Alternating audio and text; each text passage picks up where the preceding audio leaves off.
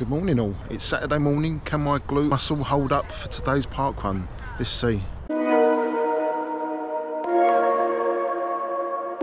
Right, morning all. Today I've took a short little drive down the uh, M20 from my house down to Maidstone and I'm doing the uh, the Mote Park park run this morning. Go. So as you, as you can see it's quite a, a large um, lake, boating lake here. So we're here in the car park and I believe the park run goes somewhere around somewhere around this route here. I think you do a couple laps and an out and a back I think. I'm not quite sure but I'm sure we'll soon find out. So there's plenty of car parking here. If you do decide to um, check out this park run if you're in the area have a nice little warm up. See what I can see. So just having a little uh, little jog round just to check the place out. I think I'm on the actual uh, course. I'm not sure if there's any grass parts. I'll have to ask someone. I definitely don't think it's going to be trails today. As a, a manor house.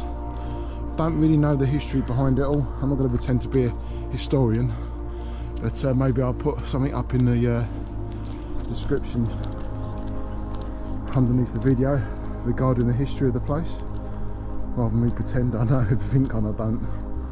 But, uh, I should have researched it before I come out but last minute decision to be fair what I was gonna what park run I was gonna be doing. But a nice house there some people doing their little uh, morning work out there. There you go Mote House. Construction began in 1793 it's a grade 2 listed Georgian mansion remains the main focal point of the park today.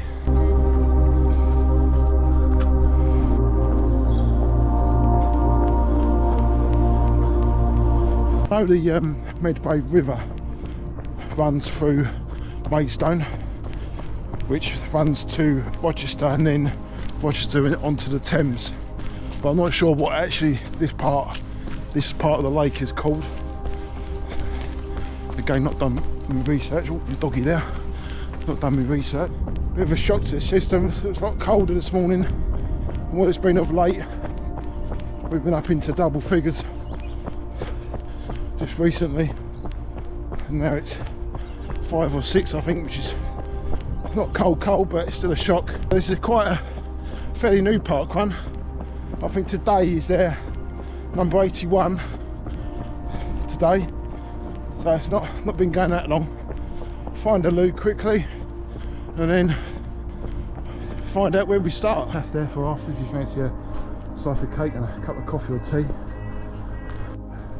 A massive play area here. I can quickly film because there's no kids inside. But uh, didn't have anything like this when I was a kid. And there's a massive climbing frame adventure playground over there by the looks. So plenty of toilets. So if I was doing a bog review, they're pretty impressive absolutely spotless loads of cubicles if you need that. And uh, yeah pretty pretty large loos for a park run obviously it's not park's not here just for the park run I know that silly thing to say but yeah pretty impressive loos. As I thought the uh, meeting point is just here. So a few people already arrived. So we must run along the edge of the lake for a run Thursday night and then it absolutely hammered it.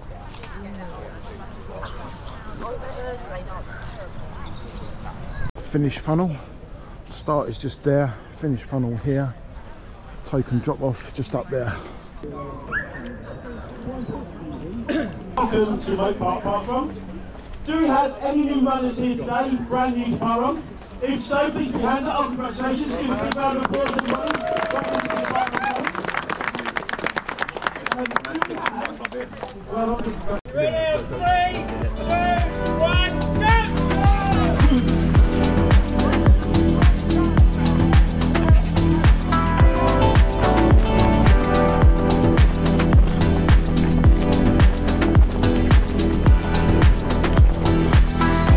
Go.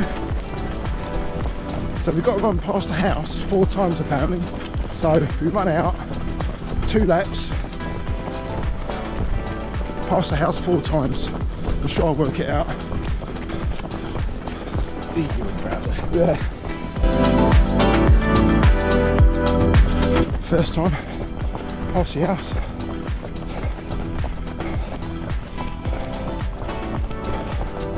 So we've got two loops here.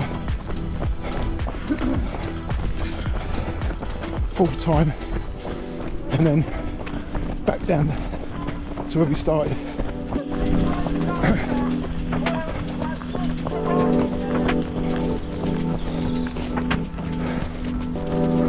A turn point back there. Not quite sure whether we do this again.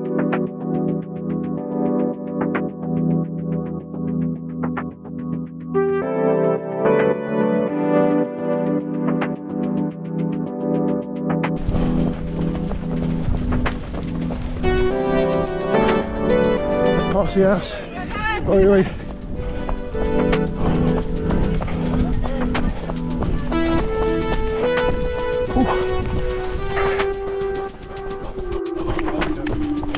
Thank you.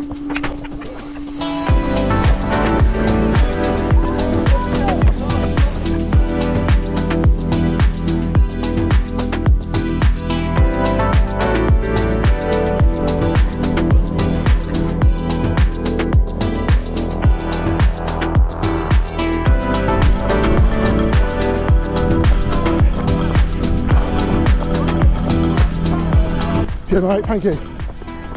Last lap, the short lap.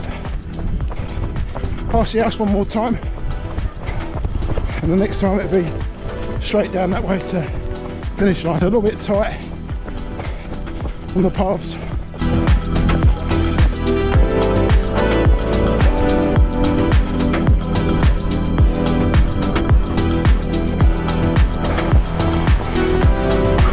Uh, 200 metres I reckon, maybe less.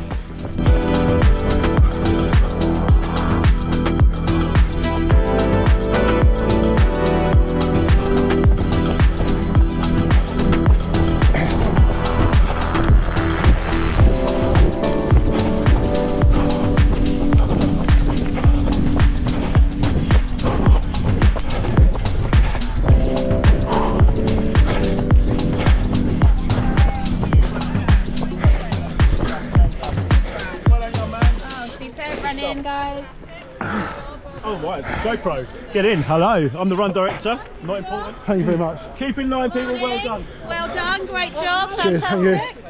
fantastic. 23rd, pleased with that. And I was confident enough with the with the glute to push it for the last little uh, 100 metres, which felt quite tough, but